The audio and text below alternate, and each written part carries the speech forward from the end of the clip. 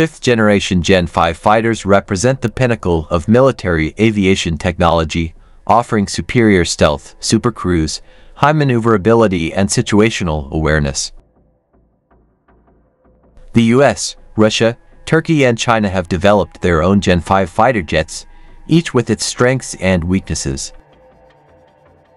F-35 Lightning II, the most widely produced Gen 5 fighter, the F-35 offers advanced multi-role capabilities and unmatched network connectivity.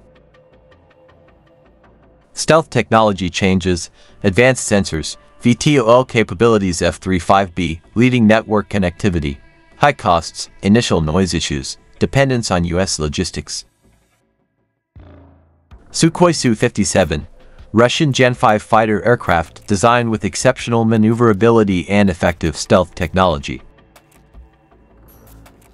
High maneuverability, advanced technology radar, greater internal endurance, limited production, development delays, dependence on Western technology. TFX MMU, Turkey's Gen 5 fighter jet program aimed at achieving technological independence and offering multi-role capabilities. Innovative design, focus on domestic technology, large export potential, still in prototype stage, unproven in combat, risks delays and cost overruns. Chengdu J-20, a large and powerful Chinese Gen 5 fighter with stealth and wide range.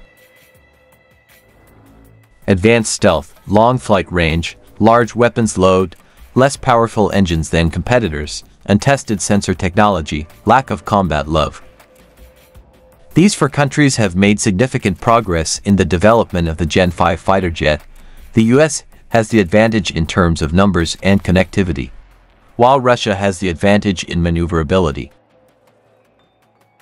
Turkey and China are still in the early stages of development, but show great potential. The future of air power will be determined by how these countries continue to develop and improve their Gen 5F. Eider jets,